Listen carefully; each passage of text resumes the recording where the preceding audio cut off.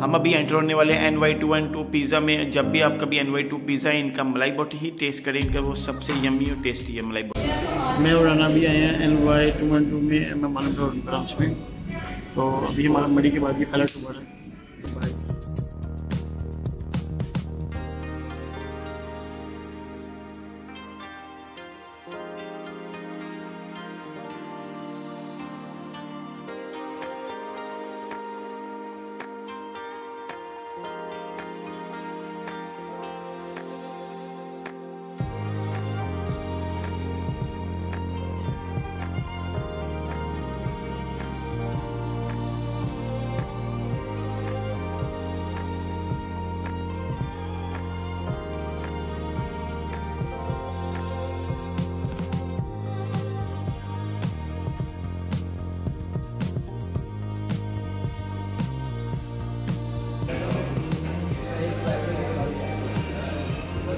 Thank you.